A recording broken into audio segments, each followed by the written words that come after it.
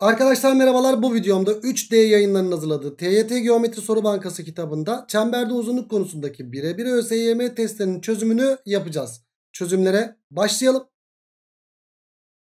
Aşağıda ölçeklendirilmiş haritanın KLM noktalarında bulunan 3 kişi vardır. Evet şurada bir 3 kişi varmış. KLM noktaları O merkezli çember üzerinde ve KML yayı 240 olarak verilmiş.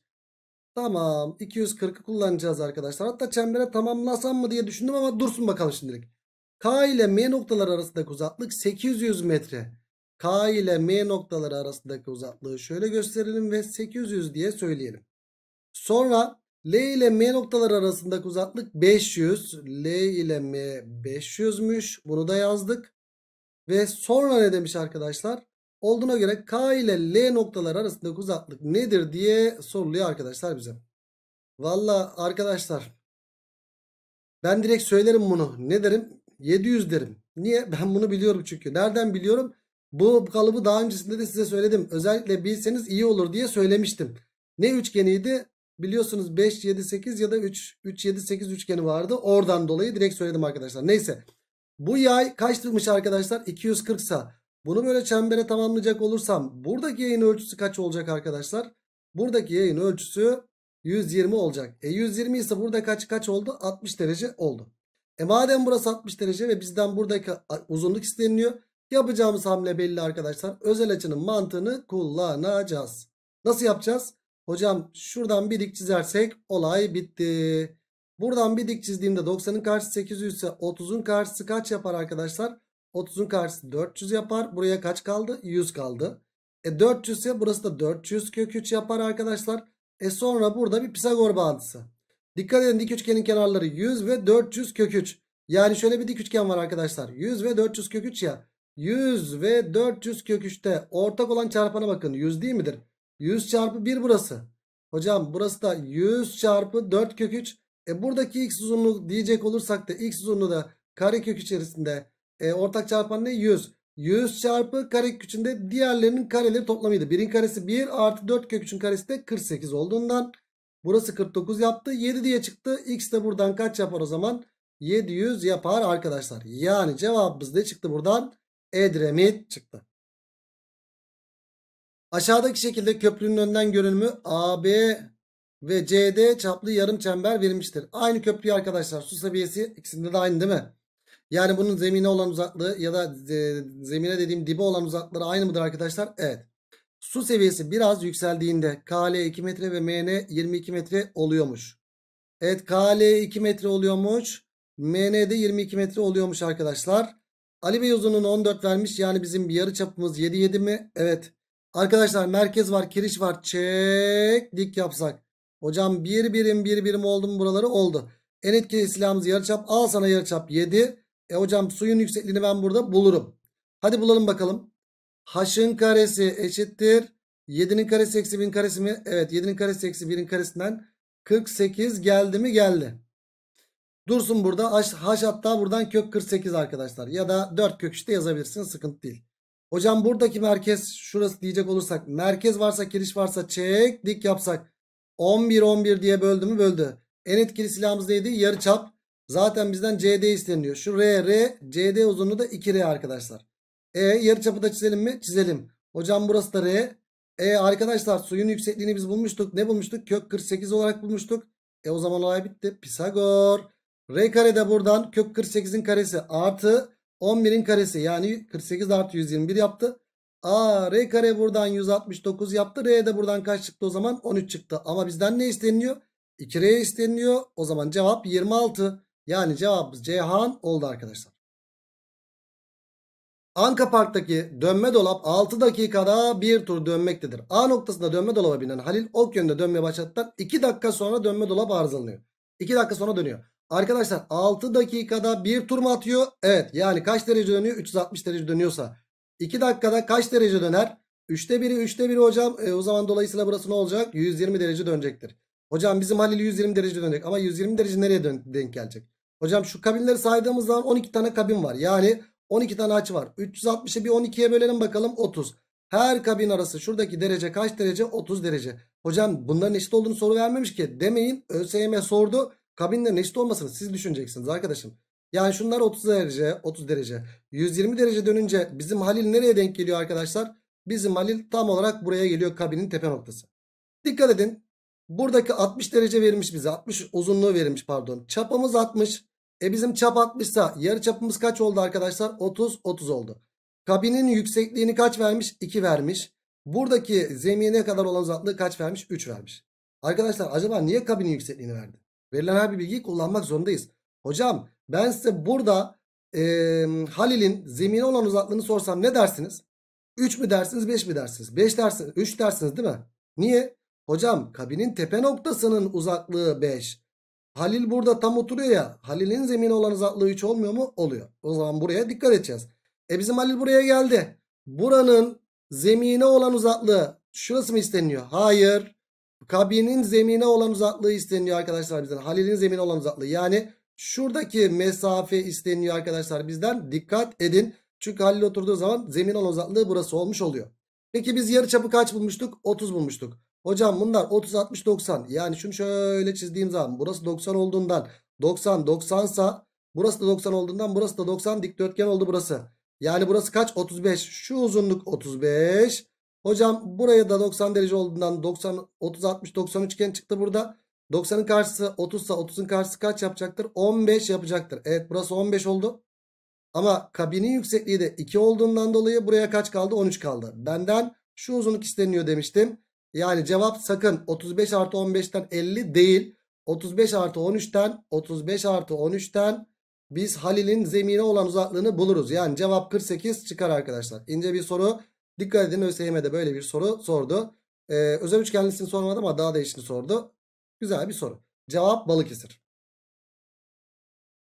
ABCD bir dikdörtgen AB ve DE çaplı çemberler, yarım çemberler F noktasında dıştan teğettir. İki çember birbirine teğet olunca ne yapıyorduk arkadaşlar? Hop merkezleri birleştir. Tam olarak DM noktasından geçiyordu. Evet yani bunun yarıçapı 9 9. E o zaman burası da 9. Bunun yarıçapında da A dersem burası da A mı yaptı? Aynen öyle. E o zaman burada ne var arkadaşlar? Şurada bir dik üçgen var mı? Var. Buradaki dik üçgeni uygulayalım. Arkadaşlar normalde şöyle yapacaksınız. A artı 9'un karesi eşittir. A artı 5'in karesi artı 9'un karesi deyip işlem işlem işlem yapacaksınız. Bakalım özel üçgen var mı? 9 varsa 9, 12, 15 üçgenidir. Bakalım 12 olması 15 olması için buraya kaç yazacağız? 6 yazacağız. E 6 yazarsak arkadaşlar maalesef bu sefer hissiyatımız tutmadı. E o zaman işlem yapacak bir şey yok. Yapalım şu işlemi. Açalım bakalım şuraya. A kare artı 18A artı 81 eşittir. A kare artı 10A artı 25 artı 81 yaptı. 81'ler nanay. A kareler nanay. Bunu attık buraya. 8A eşittir. 25 geldi. A'yı da buradan 25 bölü 8 bulduk. Ama bizden ne istendi? X. X 2A olduğundan dolayı 2 çarpı 25 bölü 8'den kaç çıktı? 25 bölü 4 olarak bulduk cevabı arkadaşlar. Yani cevabımız 25 bölü 4. Ceyhan çıktı arkadaşlar. Evet 3 verilmiş 4 verilmiş 2 tane çeyrek daire bu noktada teğet. Çemberler birbirine değdiğinde ne yapıyorduk? Hop merkezleri birleştir. Tam olarak nereden geçiyordu? Değme noktasından. E hocam ben ne diyeyim? Şu yarı çapına R mi desem? Bunun yarı çapına R desem. Dikdörtgen sonuçta burası. Burası da R burası da R mi? Evet. Hocam burası R artı X iken hatta burası R artı 4 iken X'i sona buluruz. Burası R artı 4 iken hocam burası da R artı 4 olacak.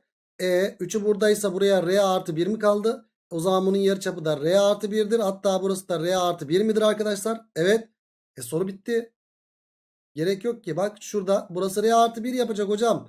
R artı X eşittir R artı 1 ise X'i buradan ne bulduk? 1 bulduk. Yani burada Pisagor bağıntısı bulup da R'yi R'yi falan bulmaya da gerek kalmadı arkadaşlar. Direkt şunların eşitliğinden soru çıktı. Yani cevabımız ne çıktı arkadaşlar? Akçay çıktı.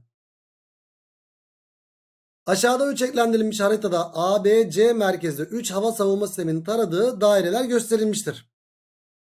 AB 50. Evet şuraya bir 50'yi yazalım. Sonra BC 70. Burası 70'miş ve AC'yi de 90 olarak vermişler. Arkadaşlar ne yapacağız?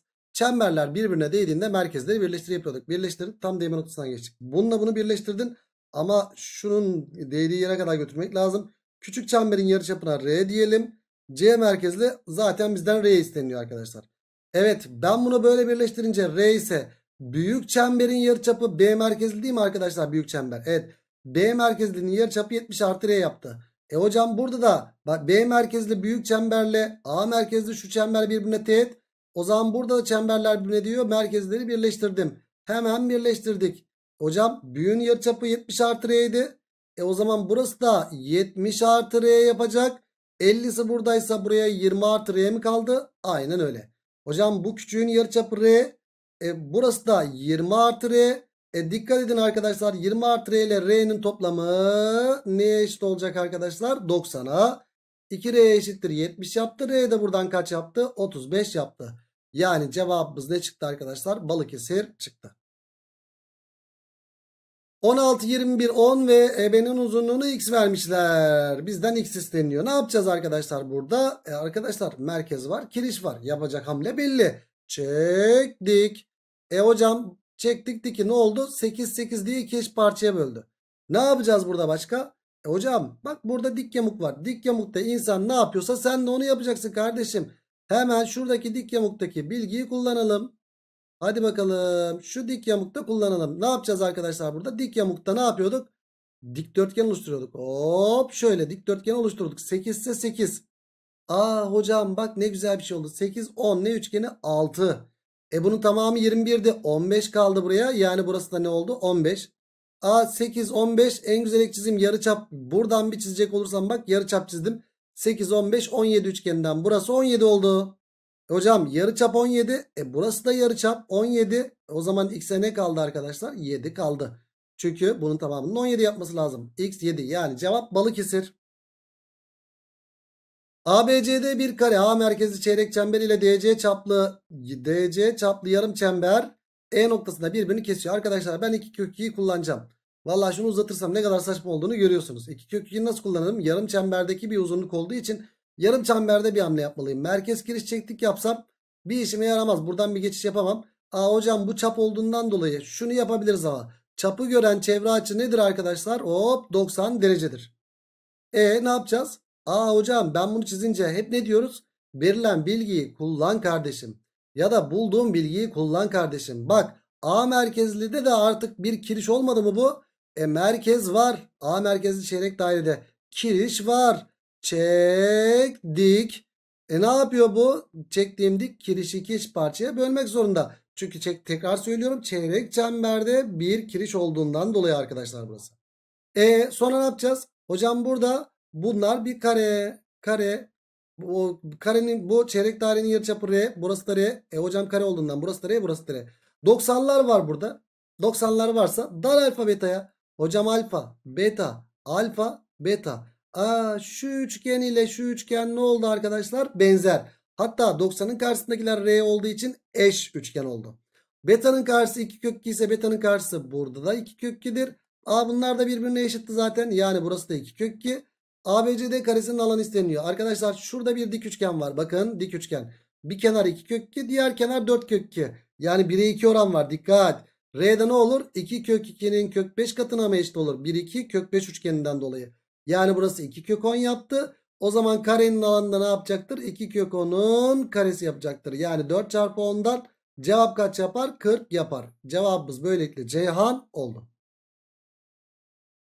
Bir ABC dik üçgeni için AB dik AC denmiş. ABC dik üçgeni için diyor. Tamam dik üçgen çizeceğim arkadaşlar. Şöyle bir dik üçgen çizelim. ABC ve şurası 90 derece.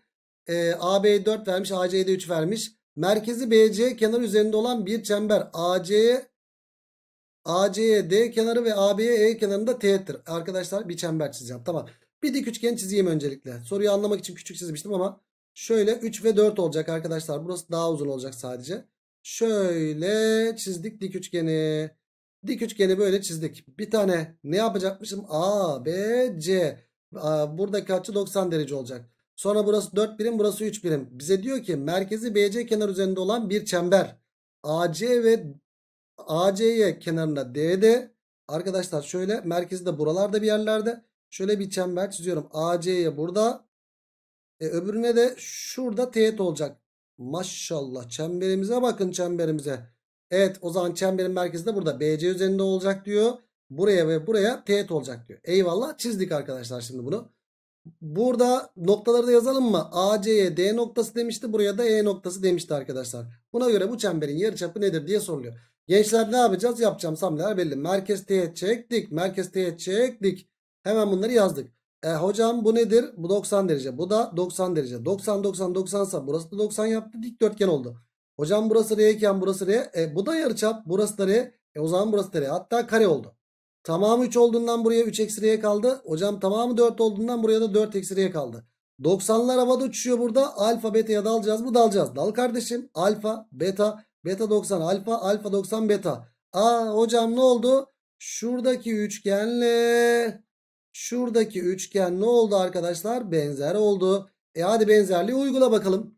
Alfanın karşısı R'nin alfanın karşısı burada 3 eksi R'ye oranı eşittir. Temel orantıda yapabilirdik aslında ama neyse devam edelim. Beta'nın karşısı 4 eksi R'nin soldan başlamıştım benzerliğe. Beta'nın karşısı R'ye oranı. Buradan R kare eşittir 3 eksi R çarpı 4 eksi R olacağından. Buradan R kare eşittir e, 3 R dağıtıyorum. 12 eksi 3 R. R'yi dağıtıyorum. Eksi 4 R. Bir daha dağıttım artı R kare. A R kareler nanay. Eksi 7R öbür taraf attım 7R yaptı. 12'ye eşitse R de buradan 12 bölü 7 mi çıktı gençler? Evet. Cevabımız böylelikle Cihan oldu. Türk Hava Yolları 23 Nisan Ulusal Egemenlik ve Çocuk Bayramı'nın 100. yıl kutlamalarında TH 100 1920 kodlu özel uçuşu ile Türkiye'nin üzerinde dev bir ay yıldız çiziyor. ABC yayını 170 derece vermiş. 270 ve ADC yayında şuradaki yayı da 240 derece vermiş. Olduğuna göre büyük çemberin yarıçapının küçük çemberin yarıçapına oranı nedir diye soruluyor. Arkadaşlar bu bir çemberin bir parçasıymış. Bu da bir çemberin bir parçasıymış. O zaman ben bunu çembere tamamlayacağım. Şöyle şöyle. Ama öncesinde bakın şöyle bir çember olacak. Şu büyüğü tamam çizdim şöyle. Sonra bir tane daha çember olacak. O da şöyle bir çember arkadaşlar. Bakın ay yıldız oluştu mu burada? Oluştu. Yani şunun çembere tamamlanmış arkadaşlar. Büyüğün çembere tamamlanmış bu. Ee, küçüğünkünü tamamlayalım öncelikle. Küçüğün çembere tamamlanmışı bu hocam. Ee, büyüğünki de şu mu hocam? Evet. Şöyle iki tane çember arkadaşlar gördüğünüz üzere. Bakın burada da ne oluştu? Bir ay yıldız. Ve buradaki yayın ölçüsünü 240 derece 270 derece vermiş. E hocam burayı da kaç derece vermiş? 240 derece olarak vermiş buradaki yayın ölçüsünde. Ne yapacağız? Hocam büyük çemberin merkezi burası olsun. Küçük çemberin merkezi de şurada bir yerde olsun isterseniz. Şöyle bir yerde olsun. E o zaman bizim en etkili silahımız neydi? Yarıçap çizmekten başka çare yok. Çünkü 270 var. Burası 270 ise bunun yayı kaçtır? 90. Hocam bunun 240 ise bunun yayı kaçtır? 120. E, en etkili silahımızı kullanalım bakalım. Şu 90'da hop şöyle en etkili silahımız yarıçapları çizecek olursak. Hocam burası ne oldu? Burası 90 derece oldu. Bak 90'ı görüyor merkez açıdan dolayı. E hocam 120'ye bakalım şimdi. 120'ye bakacak olursak da hop şöyle merkez yarıçap yarıçap çizecek olursak hocam. E bu da 120'yi görüyor. Burada kaçı da 120 derece mi oldu? Evet. Bizden ne isteniyor arkadaşlar? Bunların yarıçapları oranı isteniyor. Şimdi ee, bir yerden başlayalım arkadaşlar. Ben buraya R, R diyecek olursam. E, R, R ise şunu da çizecek olursam burası kök katı olmaz mı? R kök 2 olur. Aa hocam burası da yarıçap. O da küçük çemberin yarıçapı. Buna da büyük R diyelim isterseniz. R, R dersem e o zaman burası da 30 30 oldu. E o zaman ne olacak arkadaşlar? Bu da R kök 3'e eşit olacak. E o zaman R kök 3 eşittir R kök 2 ise buradan büyük R neye eşit oldu? R kök 2 bölü R kök 2 bölü kök 3'e eşit oldu mu arkadaşlar? Oldu. Bizden ne isteniyor? Küçük çemberin yarıçapının oranı. Büyük çemberin yarıçapının. Büyük çemberin yarıçapı ne? Küçük R. Küçük R bölü büyük R isteniyor arkadaşlar bizden. E o zaman burada e, ben R yerine büyük R yerine ne yazayım? R kök 2 bölü kök 3 yazayım. R bölü R kök 2 bölü kök 3 yazdığım zaman R'ler gitti. O da kök 3 bölü kök 2'ye mi eşit oldu? Evet. Şıklarda var mı böyle bir şey? Yok. O zaman bunu eşleniyle çarpayım. Kök 2 ile çarpayım. O da kök 6 bölü 2'ye mi eşit oldu arkadaşlar? Aynen öyle. O zaman cevabımız ne çıktı arkadaşlar? Balıkesir çıktı. B merkezli AC çaplı bir çember çiziniz. Haydi çizelim bakalım. B merkezli AC çaplı bir çemberi şöyle çizdik arkadaşlar. Sonra diyor ki C merkezli AC yarıçaplı bir çember daha çiziniz. C merkezli AC yarıçaplı bir çember daha çizeceğim. Şöyle mi olacak arkadaşlar o çemberim? Evet. Ve bu çember de D doğrusunu K noktasında kessin diyor. Hop K'da kesecek arkadaşlar. Şöyle. Çemberi tam çizemiyorum. E, o zaman diğer sayfaya geçeyim. Şöyle. Şöyle diğer sayfaya da geçelim arkadaşlar. Geçtik. Sonra diyor ki K noktasından çizilen doğru küçük çembere D noktasında teğet ve büyük çembere E noktasında kessin. Arkadaşlar K noktasından bir tane teğet çizdiğim zaman şurayı. Bu teğet ne yapıyormuş arkadaşlar? Çemberi de E noktasında kesiyormuş. Çemberi E noktasında kesiyor ve küçük çemberi nerede? D noktasında kesiyor diyor bize arkadaşlar. D noktasında kesti. E o zaman ne yapacağız arkadaşlar? Bu C merkezi çember ya. Bunun yarıçapına R dersen burası da R mi? R. Hocam 2R. C merkezi çember. A burası da 2R mi? 2R. Merkez varsa teğet varsa ne yapalım burada? Çektik. E hocam bizden ne isteniyor? KD'yi 12 vermiş ve buradaki X uzunluğu isteniyor arkadaşlar. E hocam burası da R. Pisagor'dan R'yi bulalım mı? Bulmaya gerek var mı? Galiba yok arkadaşlar. X burası ya. Hocam X. X'i de işin içine katmam lazım. Ee, nasıl katabilirim? Şurada merkez çektik yapsak yaramaz. E, X nasıl bir şey? E, yarar aslında. Oradan da çıkar. Ama şöyle de yapabilirsiniz. Şu sonuçta şöyle yaptığım zaman çap değil mi? Çapı gören çevre açı 90 derece değil mi arkadaşlar? Evet. Aa burada ne çıktı arkadaşlar? Şunlar birbirine paralel. E hocam burada kaça kaç oran var? 3'e 1 oran var. O zaman burada da 3'e 1 oran olacak. X direkt kaç olacak? 4 olacak. Ya da nasıl bulduk bunu? Hocam temel orantı 3 bölü 4 12 bölü 12 artı x diyebilirsiniz ama koldan kola geçişte 3R'nin R'ye oranı direkt 3R'nin R'ye oranı 12'nin X'e oranı diyorduk değil mi gençler? Buradan R'ler sadeleşti. 3 ile de 12 sadeleşti. X de buradan kaç geldi? 4 geldi. Yani cevap Denizli yaptı.